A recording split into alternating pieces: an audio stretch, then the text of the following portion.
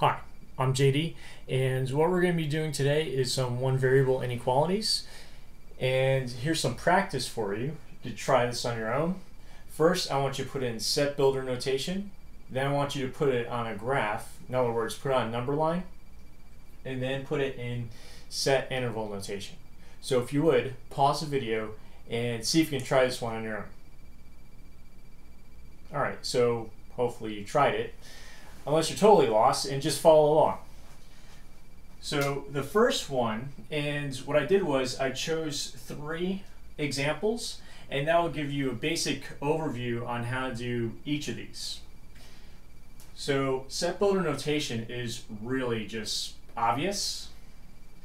Use a set, that means you're going to use braces, so it's going to be open braces, x uh, such that or belongs to the inequality uh, x is greater than negative 3.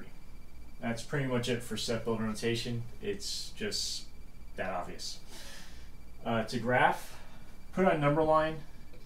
Now you could do like 1, 2, 3, 0, and so forth. Usually I just put a 0 in there. And then it's very important, I have negative 3 I put positive 3 in there as well. Now you can either use parentheses or brackets or open circle and closed circle. I'm going to use open circle, closed circle. Since this is greater than, that means it's going to be a open circle. And it's going to be an open circle at negative 3. Now, what I'm going to do is I need to graph the solution, all possible x values. So that means since this is greater, it's going to be everything above. So it's going to go in this direction. It's like that. And that's how you graph it.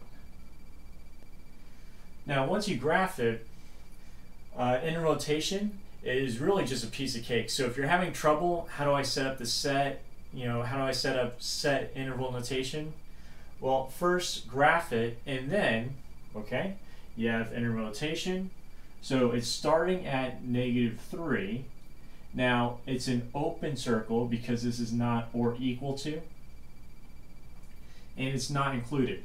So since it's not included, you're going to use parentheses. So parentheses negative 3, comma, and look, it's going on forever. It's getting very, very large and positively. So it's going to be a positive infinity. And infinity always has, that's right, parentheses. Never use brackets on infinity. It's always parentheses. Because, well, yeah, you just can't count that high. So anyways, looking at this one, what you should have put if you did try this one on your own, should have gotten the set braces x such that x is less than or equal to 4. Now, graph it.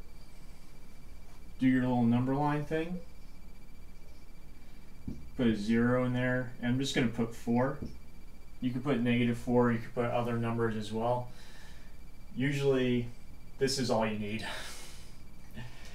So it's everything uh, less than and including 2. So that's going to be a closed circle because it's an or equal to.